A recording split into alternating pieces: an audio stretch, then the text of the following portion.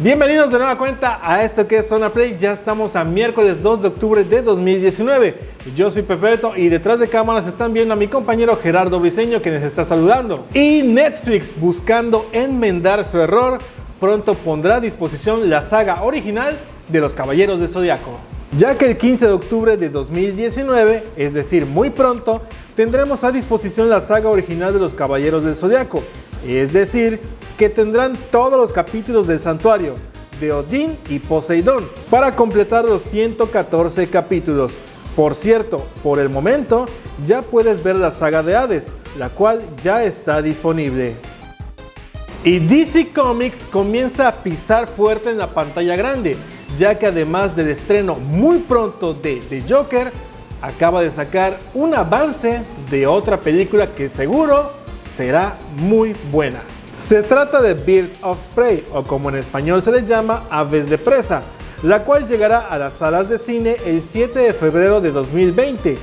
Y esta cinta muestra a la ex compañera de The Joker reuniendo un nuevo equipo, con el cual enfrentaría a Black Mask. Por cierto, si eres fan de Call of Duty, ya te puedes descargar la versión móvil. El título incluye varios modos multijugador, así como una nueva experiencia Battle Royale este juego posteriormente se irá actualizando a manera de temporadas, en los que podrás tener artículos, ítems de personalización y mucho más. Por supuesto, todo esto podría tener un costo, pero por ahora la versión móvil es completamente gratuita.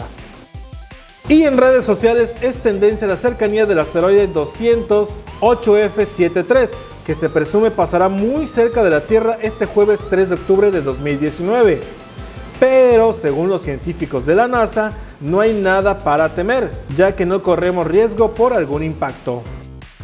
Y recuerda que en la dirección yucatán.com.mx diagonal etiqueta diagonal zona rayita media play puedes ver más contenido de Zona Play. En Instagram estamos en la cuenta de Diarios de Yucatán, en la sección de Instagram TV. En YouTube, bueno, te crea en su buscador las palabras Diarios de Yucatán más Media más Zona Play para ver todos nuestros videos.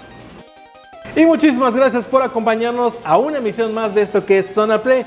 Yo soy Pepe Beto y detrás de cámaras se está despidiendo de ustedes mi compañero Gerardo Briseño.